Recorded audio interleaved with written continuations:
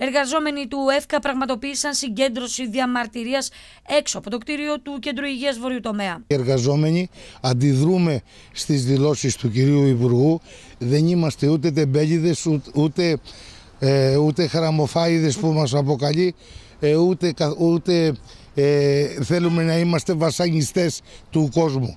Εμείς ίσα ίσα ε, παλεύουμε για τη δημόσια κοινωνική ασφάλιση. Δεν είναι σωστό να μπαίνουν ιδιώτες, ιδιώτες μάνατζερ που θέλει να φέρει ο κ. Κατζηδάκης ε, στο, στον ΕΦΚΑ, ούτε οι πιστοποιημένοι δικηγόροι και λογιστές μπορούν να λύσουν το πρόβλημα το πρόβλημα που υπάρχει για τις εκκρεμείς συντάξεις. Οι εργαζόμενοι αντιδρούν και κινητοποιούνται. Όπως τονίζουν, η λύση στο πρόβλημα είναι οι προσλήψεις προσωπικού.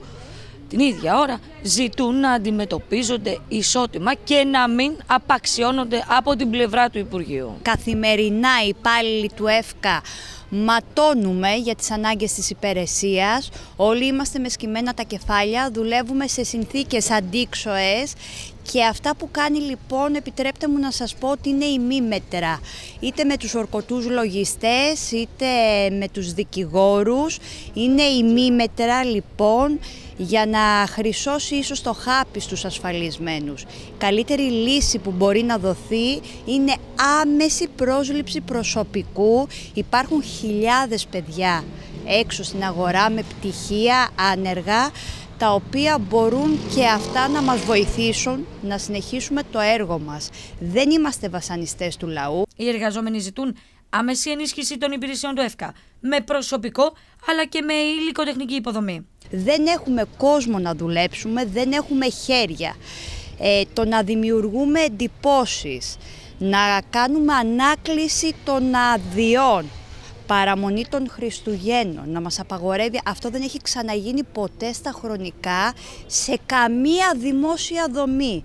Ζητάμε τα δικαιώματά μας να είναι ίσα με όλους τους δημοσίους υπαλλήλους, ειδικά για τους υπαλλήλους του ΕΦΚΑ που δουλεύουμε σε αυτές τις συνθήκες.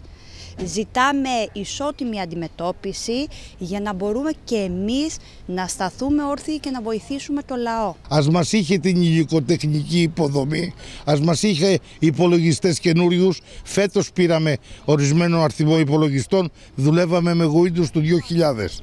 Την ίδια ώρα ζητούν να σταματήσει η απαξίωση που δέχονται από την κυβέρνηση.